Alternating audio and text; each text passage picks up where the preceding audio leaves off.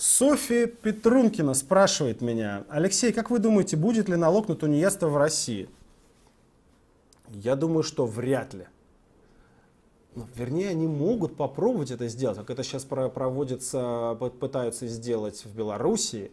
А, были такие аналоги в э, России, но, как я уже сказал, у нас 20 миллионов человек – это самозанятые. Формально это тунеядцы.